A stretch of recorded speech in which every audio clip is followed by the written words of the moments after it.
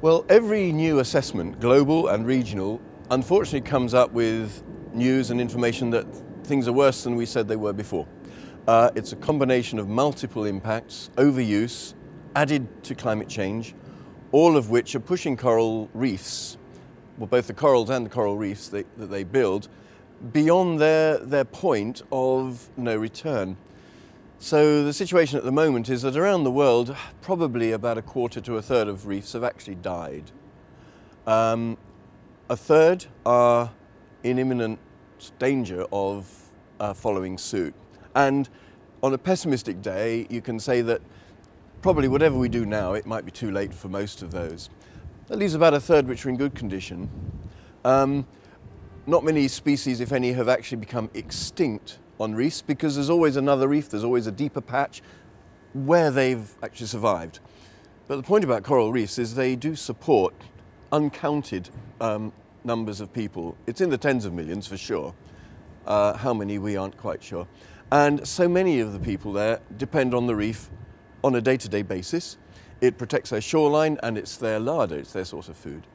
And when a reef dies, they can't get their food, they can't get their protein. And um, so the human consequences of that are extremely dire to the people in those countries. And it's a combination. As they get more desperate, they might fish harder and harder, use unwise forms of fishing, uh, of dynamite, cyanide, DDT, uh, or other forms of pesticides and poisons to catch the fish in order to feed, because they're desperate people.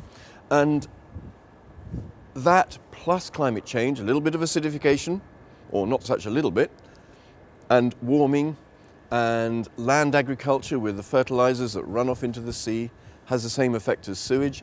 They have tipped and are tipping reefs beyond their resilience point. That um, the natural state of the oceans is slightly alkaline. It's on the alkaline side of neutral, that is being reduced. I don't suppose the oceans will ever go acid. I don't think they can because of the sediments on the bottom.